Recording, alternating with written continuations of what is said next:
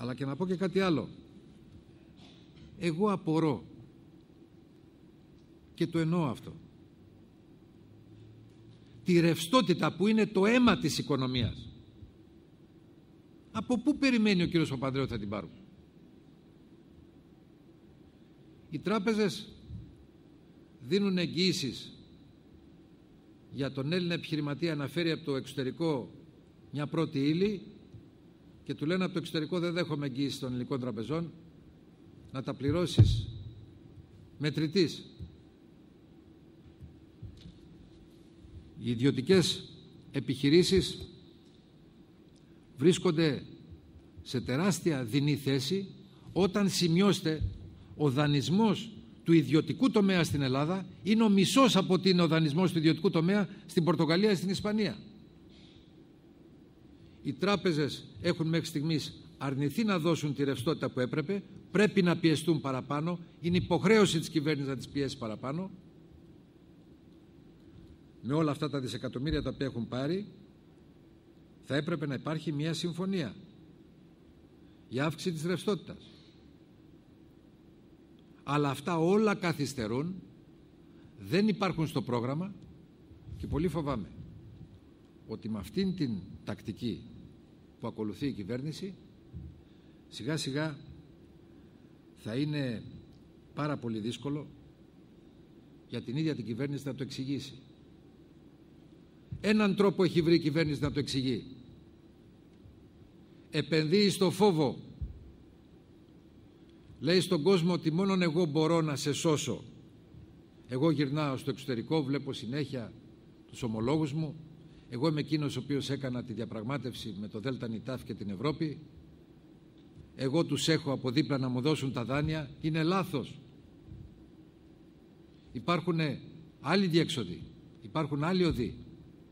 Και είναι δυνατόν πραγματικά με το πρόγραμμα το οποίο προτείνει η Νέα Δημοκρατία να βγούμε και καταλήγω στην απάντησή μου να βγούμε μια ώρα αρχίτερα από αυτές τις δεσμεύσεις να βγούμε στις αγορές και να μπορέσουμε να δανειστούμε όπως ήδη.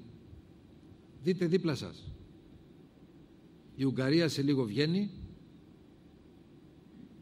Η Ισπανία προχθές την Πέμπτη δανείστηκε παρακαλώ με spreads κάτω από 200 μονάδες. Δεκαετή ομόλογα.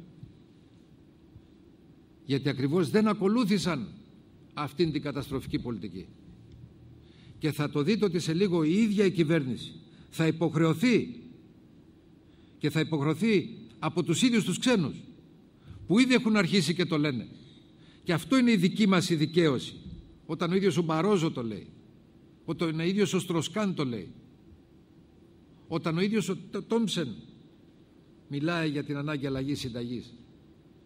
Είναι η δικιά μας η δικαίωση που το θέσαμε εξ αρχής. Ευχαριστώ πολύ. Ευχαριστώ την κυρία Ταβουλάρη. Να παρακαλέσω τον κύριο Μπουτζάνη από την εφημερίδα Πρώτο Θέμα και ακολουθεί ο κύριος Νασόπουλος. Κύριε Πρόεδρε, τους τελευταίους μήνες ασκείται πολύ σκληρή κριτική στην κυβέρνηση και νομίζω ότι το αποκορύφωμα είναι η σημερινή συνέντευξη που ξεκινήσατε με το σχετικό βίντεο για τις υποσχέσεις του κυρίου Παπανδρέου. Ε, κατακρίνετε εσείς την κυβέρνηση ότι άλλα έλεγε πριν από τις εκλογές και άλλα εφαρμόζει μετά.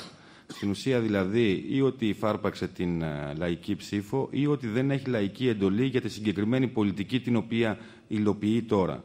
Πέραν αυτού, ότι έκανε λάθος διάγνωση στην ασθένεια και γι' αυτό οδήγησε τη χώρα στο ΔΝΤ και ακόμα περισσότερο ότι εφαρμόζει και λάθος θεραπεία, την οποία έχετε πει ότι μπορεί να είναι χειρότερη από την ασθένεια και ότι θα προκαλέσει μεγαλύτερη ύφεση και απόγνωση στην κοινωνία. Εκτιμάτε ότι η κυβέρνηση ενδέχεται να προσφύγει στις κάλπες για να αποκτήσει έστω και εκ των υστέρων έγκριση για αυτή την πολιτική και για να ανοίξει ενδεχομένως τον δρόμο να την συνεχίσει με ένα νέο πακέτο μέτρων.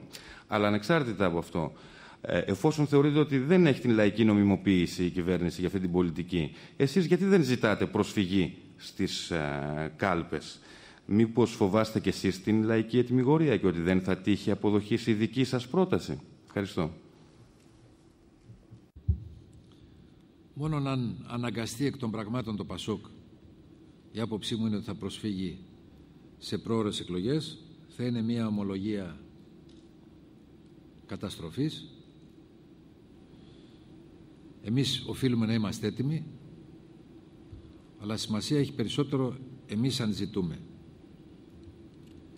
εγώ πιστεύω κύριε Κουτζάνη ότι αυτή τη στιγμή το Πασόκ διαθέτει μια θωρακισμένη ισχυρή πλειοψηφία στη Βουλή.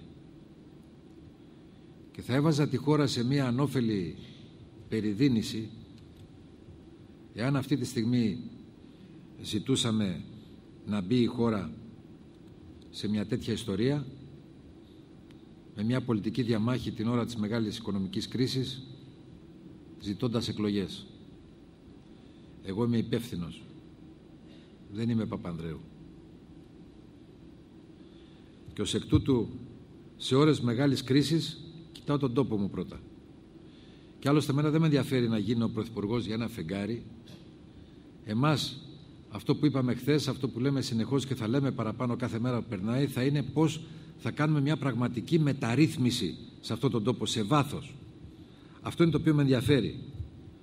Προετοιμαζόμαστε ασφαλώς παράλληλα για να μπορέσουμε να είμαστε σωστοί, καλύτεροι όταν θα είμαστε στην κυβέρνηση. Βέβαια, να μου το θυμηθείτε ότι κάποια στιγμή η υπόλοιπη Ελλάδα θα βιάζεται να κυβερνήσει η Νέα Δημοκρατία περισσότερο από εμάς τους ίδιους. Αλλά αυτό είναι ένα άλλο ζήτημα. Αυτό που τώρα έχει σημασία και είναι η δικιά μας ξεκάθαρη θέση εγώ δεν θέλω να μπούμε σε μια πρόορη ανώφελη πολιτική διαμάχη ιδιαίτερα όταν η κυβέρνηση σήμερα και φρέσκια εντολή έχει και ταυτόχρονα αν θέλετε είναι θωρακισμένη με μια ισχυρή πλειοψηφία. Αυτή είναι η απάντησή μου.